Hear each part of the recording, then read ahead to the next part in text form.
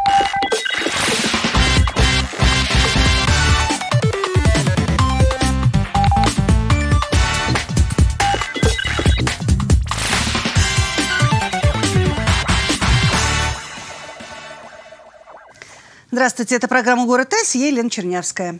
Паспорт нужен, чтобы граждане могли реализовать свои права, получать госуслуги, путешествовать на поезде или самолете, оформлять кредиты, жениться, получать господдержку. Обращаться с этим документом нужно бережно. За потерю или умышленную порчу можно получить штраф. А еще оштрафуют, если вовремя не поменять паспорт или вписать туда лишние данные. Что еще должны делать владельцы российских паспортов, расскажет моя гостья в студии Елена Николаевна Жданова, начальник отдела по вопросам миграции, отдела полиции номер два управления МВД России по городу Самаре, подполковник полиции. Здравствуйте, Елена Николаевна. Здравствуйте. Ну что же, а подскажите, пожалуйста, какие услуги может получить гражданин, обратившись к вам в отдел? Наш отдел по вопросам миграции э, предоставляет государственные услуги как выдача и замена паспортов гражданина Российской Федерации, выдача заграничного паспорта, регистрация по месту жительства, по месту пребывания и снятие с регистрационного учета граждан Российской Федерации, дактилоскопическая регистрация, и также адресно-справочная работа. Угу. Кроме этого, мы э, регистрируем и снимаем с регистрационного учета иностранных граждан и лиц без гражданства, э, которые получили разрешение на временное проживание или вид на жительство на территории Российской Федерации. Работы у нас много. Да. Про регистрацию обязательно поговорим попозже. Тоже тема очень э, немаловажная. Но давайте поговорим о паспортах. Когда нужно получать паспорт и, самое главное, как правильно получать паспорт, а общеизвестно, что паспорт российский гражданин получает в 14 лет. Абсолютно верно, да. Первый свой российский паспорт гражданин Российской Федерации должен получить по достижению возраста 14 лет. То есть, когда ребенку исполнилось уже 14 лет, на следующий день уже можно идти и подавать заявление на получение паспорта. Угу. А, для этого необходимо свидетельство о рождении, три фотографии и а, государственно, оплаченная государственная пошлина. Куда идти адресно к вам? И скажите, пожалуйста, нужно ли присутствие родителей? Да, до достижения 18 лет ребенок ставит подпись в присутствии законного представителя. При подаче заявления на получение паспорта ребенок проверяет сведения. Ну и опять-таки давайте как бы объективно смотреть, в 14 лет все-таки ребенку, наверное, очень сложно будет разобраться. Ребенок еще ребенок, да? Ребенок, да, все равно остается ребенком, и поэтому помощь родителей в этом случае, конечно, ему, наверное, будет нужна. А, можно обратиться в любой многофункциональный центр, можно непосредственно в отдел по вопросам миграции. Э, можно записаться через э, портал государственных услуг. Здесь я бы хотела уточнить, что не в электронном виде подача документов по достижению возраста 14 лет, она невозможна. Вот. А как Только... раз опередили мой вопрос. Через госуслуги я хотела сказать, да. логично, можно ли. Оказывается, нет. Давайте тогда как правильно. Э предварительная, существует предварительная запись. Это гражданин в своем личном кабинете получ, э, выбирает э, посе, личное посещение ведомства так. и подает там заявление на, э, своему ребенку по достижению возраста 14 лет. К, в настоящий момент родители разобрались с порталом государственных услуг, и достаточно большое количество уже заявлений к нам поступает угу. именно посредством э, предварительной записи через портал. Скажите, пожалуйста, о чем а, нужно, необходимо по помнить, а, когда вот прям вот наступает время для получения паспорта? На следующий день вы сказали обратиться, а если не прийти ни через месяц, ни через два? Ну, административная ответственность э, за проживание без документа, удостоверяющей личность, у нас наступает 18 лет. Так. Поэтому административная ответственность, конечно, ребенок не будет нести, что он своевременно не оформил паспорт. Но ребенку сдавать э, ОГЭ, ЕГЭ, где паспорт ему обязательно понадобится. Кроме того, э, сейчас э, родители, допустим, для удобства оформляют детям э, те же карты, чтобы угу, получить пушкинскую карту. Для этого тоже необходим паспорт гражданина Российской Федерации. Поэтому я бы здесь, наверное, рекомендовала э, как можно скорее подать заявление и получить паспорт.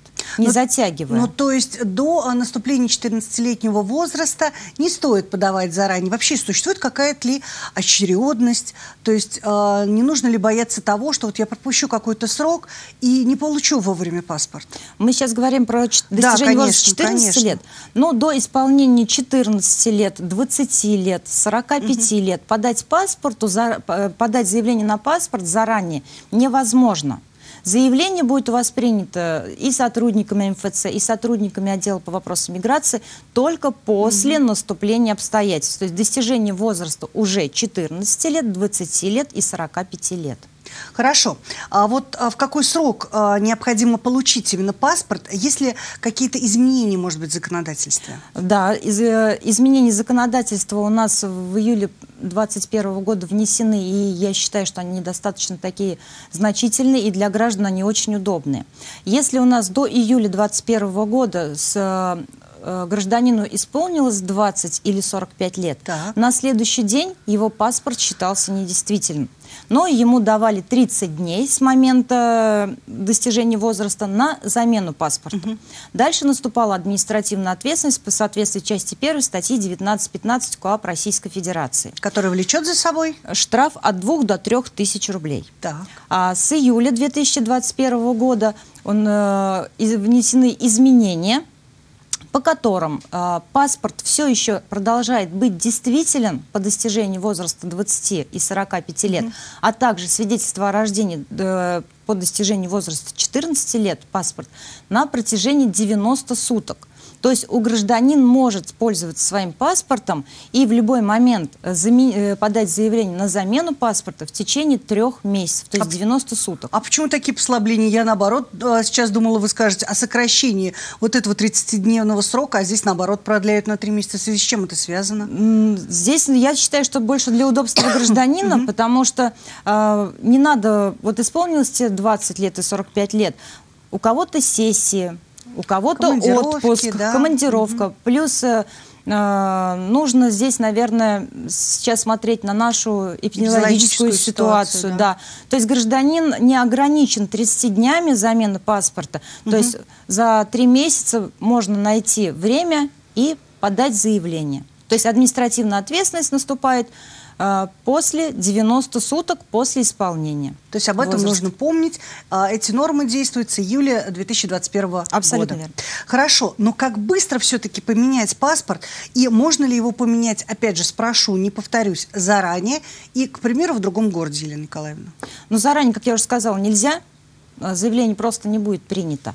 В другом э, городе, регионе абсолютно точно можно подать заявление и получить свой паспорт, паспорт на свое имя. Если ты являешься гражданином Российской Федерации. Конечно. Соответственно. Да, конечно. Но паспорт гражданина Российской Федерации, соответственно, получает паспорт гражданина Российской Федерации. Можно не привязываясь к месту жительства, к месту пребывания. То есть вы поехали, например, в длительную командировку в Москву, Санкт-Петербург, любой город Российской Федерации, вы там и будете там находиться, например, более месяца, а вам паспорт необходим. Конечно для работы, вы можете подать заявление, и в течение 30 э, а, календарных дней вам паспорт будет изготовлен и выдан будет угу. на руки. Ну, законодатель, наверное, прописал закон, а, касающихся а, всех регионов Российской Федерации, да, и сроки здесь едины. То есть, если ты в другом регионе, то а, те же там 90 дней тебе на замену положено, верно я понимаю, да? Да, закон един для всей да. территории Российской, Российской Федерации. Федерации. А вот а, такой вопрос, к примеру, женщина вышла замуж, изменились персональные данные, ну, к примеру, при покупке свадебного тура использовали старые паспортные данные – а следующий день после смены фамилии паспорт уже недействителен получается. Вот как здесь быть? Нет, почему недействителен? Что внутренний э, российский, э, что заграничный паспорт, а, он действителен статус. Он просто подлежит замене в связи с сменой персональных данных, так. сменой фамилии. А срок действия паспорта указан в паспорте. Что касается пересечения границ, тут, конечно, а, единого ответа, наверное, нет. Но, тем не менее, паспорт имеет статус действителен. То есть вы хотите сказать, что за границу пустят по старым данным в паспорте? Да? Пустят. Вот, коль уж мы с вами коснулись э, заграничных паспортов, может быть, есть тоже какие-то нововведения, и о чем также нужно помнить, э, если подошел срок замены загранпаспорта? Ну, за, э, мы не можем здесь применять заграничным паспортам замена. Он каждый раз оформляется заново. Так. То есть э, подается заявление на получение заграничного паспорта. У нас э, внутренний российский паспорт является обязательным документом для гражданина Российской Федерации, а заграничный паспорт, он получается, э, э, гражданин получает по заявлению, то есть по своему желанию. Угу, угу. Поэтому при окончании срока действия заграничного паспорта гражданин заново подает заявление на получение заграничного паспорта и в установленный законом срок он его получает. Какие у нас сейчас заграничные паспорта? Есть какие-то нововведения, изменения? То есть заграничный паспорт на 5 лет и биометрический на 10. Есть ли что-то здесь нового, интересного? Опять же, о чем стоит напомнить нашим уважаемым телезрителям? Но изменений как э, серьезных таких нету. Также у нас э, есть заграничный паспорт с сроком действия 5 лет и с сроком действия биометрический паспорт 10 лет. Какой оформлять лучше? Ну, конечно, наверное, удобнее для гражданина и выгоднее э, это на 10 лет биометрический паспорт. Во-первых, и заявление желательно для гражданина э, подавать через портал государственных услуг. Так. Здесь э, нужно напомнить, что при подаче заявления через портал государственных услуг у нас скидка на госпошлину 30%. Угу. То есть и на взрослого гражданина вместо 5 тысяч рублей гражданин платит 3,5 тысячи рублей на 10 лет. Мне кажется, это более удобный и выгодный вариант. Скажите, пожалуйста, если семья собралась э, за границу, у семьи дети, ну, к примеру, давайте возьмем 2-10 лет, нужны ли паспорта? Для пересечения государственной границы Российской Федерации в обязательном порядке нужен, конечно, заграничный паспорт. И позаботиться об этом нужно заранее. Срок оформления паспорта до 30 дней по месту жительства, угу. до трех месяцев по месту фактического проживания, либо по месту пребывания. А, поэтому быстро оформить не получится. Ну, минимум, Тяжело вы сказали, будет. месяц. Да. Хорошо, а вот такой у меня к вам вопрос. Да, давайте мы да. здесь еще, знаете, что уточним. А, часто родители заблуждаются, что в биометрии вот, получают десятилетние паспорта, и при рождении детей пытаются э, ребенка вписать Писать. в свой заграничный паспорт. К сожалению, это невозможно. Ребенку можно вклеить фотографии и внести только в пятилетний паспорт сроком действия 5 лет, а в десятилетний нет, только угу. оформлять отдельный заграничный паспорт. Хорошо, тогда у меня встречный вопрос. Одного ли ребенка можно вписать в пятилетний паспорт, либо нет? Э, три, три, трое детей можно вести. Угу. Хорошо. В, в пятилетний. Хорошо. А вот такой у меня к вам вопрос. За время вашей работы были ли случаи, когда мужчины меняли фамилию после свадьбы? Конечно. Да? Да, были. Может быть, какие-то встречались необычные имена, фамилии, вот, которые вам лично запомнились? Имена, конечно, встречались. Э, очень интересно. Например, имя «Хозяйка». Так. Я такое увидела впервые.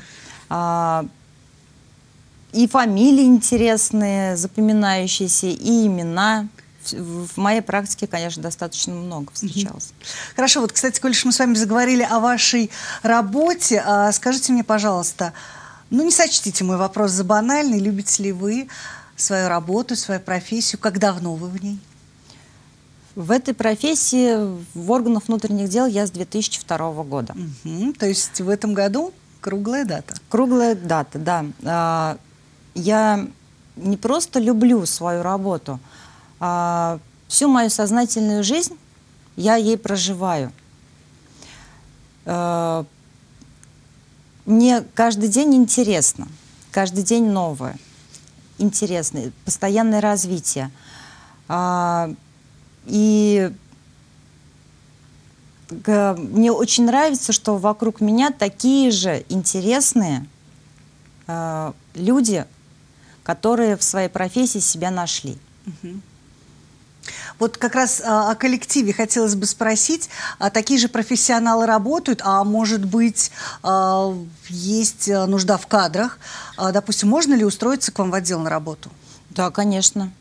А что для этого нужно? Э, захотеть к нам прийти работать. Ну, образование как минимум, наверное, еще. Ну, если мы говорим про аттестованных сотрудников, да, тех, которые готовы получить специальные звания, да, тут, конечно, наличие высшего образования обязательно. Угу. Но у нас есть категория вольно-наемных, федеральных государственных гражданских служащих. Для э, устройства на службу федеральных гражданских служащих, конечно, тоже наличие высшего образования. Вольно-наемный достаточно среднеспециального. Угу. А где можно посмотреть вакансии? Есть ли сайт? Куда обратиться? Управление МВД России по городу Самаре, Мариса Торез, 12. Можно... У нас кадровый угу. управление, э, отдел кадрового обеспечения, который, я думаю, с радостью даст все консультации и расскажет более подробно. Ну и, наверное, поможет составить резюме, если это необходимо. Да. Ну а мы возвращаемся а, к теме паспортов. Вот скажите, пожалуйста, если украл или э, кто-то украл или потеряли паспорт, что делать гражданину, вот куда обращаться, еще такой, наверное, распространенный вопрос, если, ну, к примеру, уголочек у паспорта оторван или ребенок нечаянно написал, вот такой паспорт подлежит обязательной замене, либо можно а, с этим документом жить дальше? Э, вторую часть вопроса по поводу загнутого уголочка угу. или изрисованного паспорта. Если просто уголок э, загнан, да, э, загнут, загнут. Э, то, в принципе, если все читаемо, печати не размыты, все данные на месте, угу. то Пользоваться можно вполне. Пользоваться можно вполне. Что касается изрисованного э, детьми паспорта, то, наверное, все-таки паспорт гражданина России это не фотоальбом да. и не альбом для рисования. Поэтому, э, конечно, он подлежит замене. И необходимо обратиться с заявлением и заменить паспорт на новый. Вот, кстати, если обнаружил пропажу паспорта, э, нужно ли сразу об этом заявлять и чем это чревато? Ну, в качестве моей рекомендации, да, конечно, нужно обратиться в отдел полиции, в дежурную часть и заявить об этом. Особенно если вы не знаете, угу. где, когда, при каких обстоятельствах вы потеряли паспорт, то как бы для собственного спокойствия лучше обратиться, написать заявление. Да. Но сразу э, надо отметить, что э, заявление, поданное в отдел полиции, это не является заявлением на восстановление утраченного паспорта. После обращения в полицию именно для получения уже паспорта в связи с утратой паспорта необходимо обратиться непосредственно в отдел по вопросам миграции. Вы советуете это делать сразу, как только пропажа обнаружена, либо все-таки подождать? Ну ведь, э, несомненно, человек не может жить э, без паспорта, да? Безусловно. Э, здесь как бы гражданин решает для себя сам. Тут мы не можем рекомендовать. Ну, конечно, желательно сразу обращаться и восстанавливать паспорт. Если вдруг документ нашелся, что делать? В таком случае? Когда э, гражданин приходит писать заявление на восстановление утраченного паспорта, угу. в своем заявлении он будет указывать, что при обнаружении паспорта обязуюсь вернуть его в течение трех дней в отдел по вопросам миграции. Угу. Соответственно, если э, гражданин уже подал паспор, э, заявление на восстановление паспорта, даже если он его нашел, он должен его принести в отдел по вопросам миграции, потому что в этот же день подачи, как э, мы от гражданина приняли заявление на восстановление, мы паспорт, который у него был прежний, мы объявляем в розыск. То есть он становится недействительным, пользоваться им все равно гражданин не сможет. Поэтому в, как можно быстрее он должен нам его предоставить. Подождите, а в чем же разница? У человека был старый паспорт, он подал заявление на новый, там же будут идентичные данные. А, и дата рождения, и место рождения. А, ну, наверное, там серия коды номер, и серия номер будут и дата разные. выдачи другой. Угу, угу. Поэтому, конечно, уже является второй документ э, реальным и действительным. Да, если гражданин уже к нам э, в отдел по вопросам миграции подал заявление на восстановление паспорта, он уже в любом случае должен получить угу. новый паспорт, а старый паспорт, несмотря на всю свою привязанность ну, к нему, да. э, и огромное количество документов оформлено на, на тот паспорт, в любом случае возвращает к нам. Но здесь тоже не надо бояться, угу. потому что на 19 странице в, э, нового паспорта будут все реквизиты всех предыдущих паспортов. То есть, и часто граждане заблуждаются, что если они получат новый паспорт, они потеряют что-то оформленное на предыдущий да. паспорт. Нет, не надо этого бояться все сведения о ранее выданных паспортах проставляются на 19 странице паспорта. Да, этого тоже учли. Хорошо, вот такой вопрос. А, скажите, пожалуйста, можно ли у вас пройти добровольную процедуру а, дактилоскопии? И по практике, скажите, пожалуйста, вот нужна ли она гражданину? Да, у нас можно в любом подразделении по вопросам миграции угу. можно пройти добровольную дактилоскопическую регистрацию. Э, на то она и добровольная. Гражданин для себя решает, хочет он оставить э, свои отпечатки пальцев в базах данных или не хочет. Угу. есть у него желание или нет. Но тут... Э, а какие кто... могут быть аргументы за, Елена Николаевна? ну, на несчастный случай, например.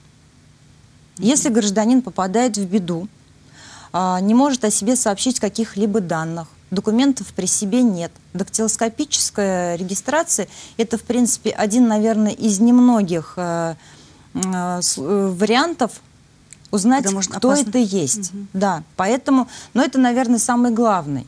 Но также, в принципе, они, дактилоскопическая регистрация попадает во все учеты. А для кого она необходима? Ну, насколько мне известно, многие работодатели требуют охранные предприятия, например. А, точно не могу вам сказать. Угу. Вот, но то, что на для вашего ведом... охранника для вашего ведомства обязательно? Вот вы проходили лично? Да, конечно. Да? Да. Все, все сотрудники МВД все прошли э, дактилоскопическую регистрацию, безусловно. Угу. Интересно. А вот можно ли э, где-то самостоятельно проверить а, статус паспорта и получение информации а вот о какой-то либо организации его недействительности, а, сделав, к примеру, запрос? И куда этот запрос а, нужно направить? Ну, что касается действительного и недействительного паспорта, паспорт может быть недействительным только в случае, когда он не заменен по достижении возраста угу. 20-45 лет – либо при вступлении в брак э, по истечении определенного срока паспорт становится недействительным. Все паспорта, которые находятся на руках, они действительны. Что касается в последнее время, на самом деле, это большая э, проблема, да, то есть когда люди приходят в банки, в какие-то организации, да. им говорят, что ваш паспорт недействителен. Паспорт действителен. Э, гражданин обращается, здесь надо отметить, что нужно обращаться по месту выдачи паспорта. Не там, где человек проживает, угу. либо прописан, э, зарегистрирован на сегодняшний день, да, по месту выдачи паспорта. Если паспорт получен в другом регионе, то нужно написать обращение через официальный сайт на управление того региона, где он получал, гражданин, паспорт. И э, ему будет выдана справка о том, что паспорт действителен а самостоятельно проверить на официальном сайте МВД России. Можно? Да. Эта информация открыта, да. доступна да, для да. любого гражданина. Да. Ну вот я почему задала этот вопрос. Вы знаете, вот, а, наверное, первое опасение, когда человек теряет паспорт, а, что вдруг кто-то его найдет и воспользуется, там, похожая личность пойдет, возьмет кредит и так далее. Вот такие случаи вообще часто, я понимаю, что это не ваше ведомство этим занимается, но тем не менее, обращение вот в этом направлении, как часто часто поступает и насколько вообще это актуальная ситуация? Поэтому мы с вами, когда говорили про заявление по восстановлению утраченного паспорта, угу. почему я рекомендовала обратиться в отдел полиции в дежурную часть? Именно для таких э, ситуаций. Здесь нужно сказать, что обращение в полицию да, с э, заявлением о том, что у вас утрачен паспорт – это заявление не, восстан не на восстановление утраченного паспорта. А на предупреждение. Вы как бы себя да. оберегли от того, что вы заявили, что ваш паспорт утрачен, что у вас он на руках угу. отсутствует. А, конечно, в практике случаются разные случаи, в том числе, а, когда в интернет выкладывают свои персональные данные или еще что-то, э, потом меняют паспорта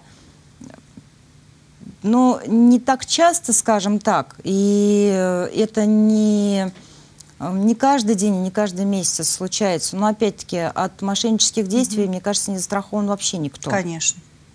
Особенно и тут э, давать какую-то гарантию, время, да. что каким паспортом воспользуются, каким нет, я думаю, что никто не решится на это. Спасибо большое. Ну и сейчас а, с паспортами все, а, наверное, да. Давайте небольшой итог такой подведем, о чем нужно знать, помнить, а, если а, 14, 20 и 45 лет, 18, и пришло время заменить паспорт. Ну, первый паспорт получается по достижению возраста 14 лет. Замене mm-hmm. подлежат паспорты по достижению возраста 20-45 лет, который действительно 90 суток, то есть 3 месяца, 18 лет паспорта не меняются. Угу. У нас 14, 20 и 45 лет контрольные такие даты. А что касается смены персональных данных, а, а, допустим, обнаружения ошибки, и это э, смена персональных данных в течение 30 календарных дней вы должны обратиться с заявлением. То есть если девушка у нас вступила в брак, то у нее нет 90 суток. У, них, у нее есть 30 суток для подачи заявления на получение паспорта на новые персональные данные. Если решила сменить фамилию, если да. нет, оставляет свою, то здесь да, конечно. можно жить в замужестве дальше да, спокойно. при смене. Mm-hmm. Кто-то э, без вступления в брак также меняет фамилии, имя, отчество, получает свидетельство о перемене имени. В этом случае точно так же, то есть срок будет подачи заявления не должен превышать 30 дней. Угу. Ну, по замене имени, а, фамилии тоже к вам или все-таки в ЗАГС? Нет, сначала в ЗАГС, получает свидетельство о перемене имени, да. повторное свидетельство о рождении, и только после органов ЗАГСа обращаются с заявлением на смену паспорта. паспорта. Да. А, хочу перейти к не менее важным вопросам о регистрации. Скажите, пожалуйста, вот как без головной боли за одно посещение сняться с регистрационного учета и зарегистрироваться уже по новому адресу, Елена Николаевна? Это давно уже перестало тоже быть проблемой. Угу. Это большой помощник, портал государственных услуг. Когда гражданин подает заявление на регистрацию по новому месту жительства, ставит галочку, что у него в настоящий момент есть регистрация по месту жительства, и он один раз приходит в отдел по вопросам миграции, одновременно мы снимаем с прежнего места жительства и регистрируем на новое место жительства. Ну вот, кстати, Также заявление да. можно на регистрацию и снять с регистрационного учета можно подать и в многофункциональные центры, а также паспортные службы, угу. которые обслуживают эти адреса. То есть любым удобным для себя да. способом, а, ближе, ну и самое главное, безопаснее. Но скажите, а вот чем все-таки чревата наша доброта предоставить регистрацию в своей квартире, ну, к примеру, друзьям, которые живут в другом месте? Вот что такое, если в двух словах, фиктивная регистрация?